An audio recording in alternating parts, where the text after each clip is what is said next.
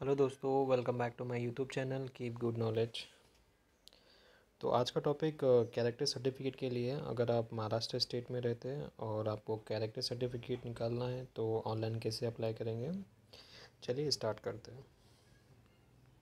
सबसे पहले आपको गूगल में आना होगा। वहाँ पे आपको सर्च करना है कैरेक्टर सर्टिफिकेट आपको जो पहला लिंक ओपन होगा, पुलिस क्लियरेंस सर्विस का तो वहाँ पे क्लिक करना है आपको। उसके बाद आपको इस तरह का इंटरफेस आएगा। राइट हैंड साइड में पूरी इन्फॉर्मेशन दी गई है। पहले आपको रजिस्टर करना है, फिर लॉगिन करना है, फिर एप्लीकेशन का फॉर्म भरना है, उसके बाद पेमेंट करना है और उसके बाद लोकल पुलिस स्टेशन से इसे वेरीफाई करवाना है। और चलिए, उसके बाद रजिस्ट्रेशन पे क्लिक करते हैं। क्लिक करने के बाद ऐसा इंटरफेस आएगा जहाँ पे आपको कुछ बेसिक इन्फॉर्मेशन देनी है, आपको यूज़र नेम पासवर्ड सेट करने के लिए। पहले आपको लॉगिन करना होता है, उसके लिए आपको रजिस्ट्रेशन करना होता है यूज़र नेम पासवर्ड बनाने के लिए। तो पहले आधार नंबर देना है आपको last name first name middle name date of birth देना है, और उसके बाद S P C P office name आपको देना है लोकेशन के अकॉर्डिंगली आपको मोबाइल नंबर देना है जो आपका यूज़र नेम रहेगा। पासवर्ड सेट करना है। स्पेशल कैरेक्टर के अकॉर्डिंगली बनाइएगा। एक एग्जांपल दे देता हूँ। आपका password should be A B C at the rate one two three A capital तो इस टाइप का पासवर्ड सेट करेंगे तो वो आपके लिए काफ़ी बेटर रहेगा।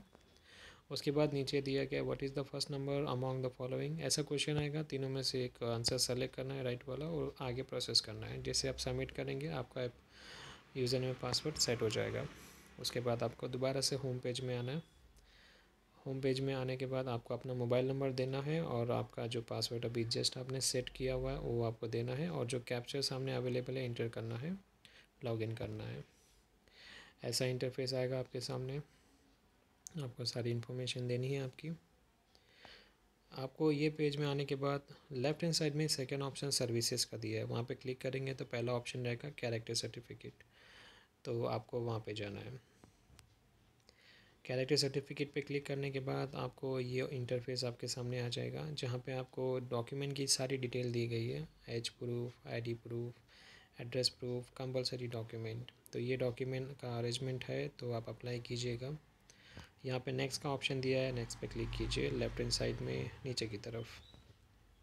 जैसे आप क्लिक करते हैं तो ये काफ़ी इन्फॉर्मेशन आपकी यहाँ पूछेगा। आप, आपका पूरा इन्फॉर्मेशन आपका नाम, आपका एड्रेस आपका date of birth last ten year में आप कहाँ कहाँ रह चुके हैं करंट में कहाँ काम करते हैं, काफ़ी चीज़ें पूछी जाएगी। आपका ये पाँच से छः मिनट आपका ये ले लेगा आपका इन्फॉर्मेशन यहाँ पे देने के लिए। तो सारी इन्फॉर्मेशन आप यहाँ पे फिलअप कीजिएगा। उसके बाद जनरल इन्फॉर्मेशन में पूछा जाएगा आपका। आप कभी अरेस्ट हुए हैं?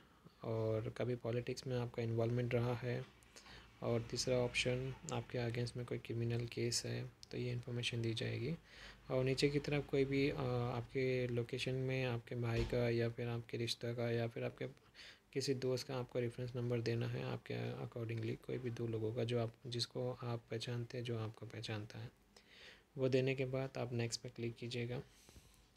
आपको पुलिस स्टेशन सेलेक्ट करना है नियर बाय आपका जो रहेगा, जहाँ पे आपको पुलिस वेरिफिकेशन कंफर्म होता है तो वहाँ पे आप दे दीजिएगा और नीचे आपका लोकेशन दीजिएगा और उसके बाद सेव कीजिएगा। वहाँ पे पेमेंट का एक ऑप्शन आएगा, आपको पेमेंट करना होता है। तो अगर वहाँ पे ऑप्शन नहीं आता लेफ़्ट हैंड साइड में पे फ़ी का ऑप्शन दिया गया, वहाँ पे क्लिक करेंगे तो वहाँ पे ऑप्शन आएगा। तो मल्टीपल ऑप्शन है पेमेंट के लिए, वहाँ पे आप पेमेंट कीजिएगा। पेमेंट होने के बाद आपका ऐसा स्टेटस आ जाएगा। आपका नाम, आपका आपका डिटेल्स आ जाएगा यहाँ पे। आप कौन सी तारीख को आपने सबमिट किया हुआ है, वो सारी इन्फॉर्मेशन आपके सामने आ जाएँगी और स्टेटस पेंडिंग में शो करेगा। तो आपका लोकल पुलिस स्टेशन में वेरीफाई होगा, उसका भी पेंडिंग में बता रहे हैं। जैसे वो अप्रूव होता है तो वहाँ से पास ऑन होकर वो कमिश्नर के ऑफ़िस में मे बी ये जाता है। उसके बाद वहाँ से अप्रूवल होने के बाद, ये दोनों का अप्रूवल होने के बाद आपको यहीं पे जो है ना, आपका एक ऑप्शन आ जाएगा। आपके कैरेक्टर सर्टिफिकेट का। लेकिन उसके लिए आपको वेट करना है fifteen days now you have to wait for fifteen days for approval okay तो इन केस अगर फिफ्टीन डेज़ में भी अप्रूवल नहीं आता है किसी कारण तो आप नियरेस्ट पुलिस चौकी में जहाँ पे आपने दिया, वो वहाँ पे विज़िट करके इसकी इंक्वायरी कर सकते हैं, या वहाँ ऑनलाइन में आप कॉल कर सक कॉल करके इसके स्टेटस के लिए बात कर सकते हैं राइट तो ये काफ़ी इफ़ेक्टिव ऑप्शन है, आप यहाँ से ट्राई कर सकते हैं, ठीक है? इसके अलावा अगर आपको कोई प्रॉब्लम होती है तो you can mention on comment section तो उसके अकॉर्डिंगली मैं आपको इसका आंसर करूँगा। आई होप ये वीडियो आपको पसंद आया होगा। If you like this video please आप इसे शेयर कीजिए और मेरा चैनल सब्सक्राइब कीजिए ओके अभी के लिए thank you so much have a good day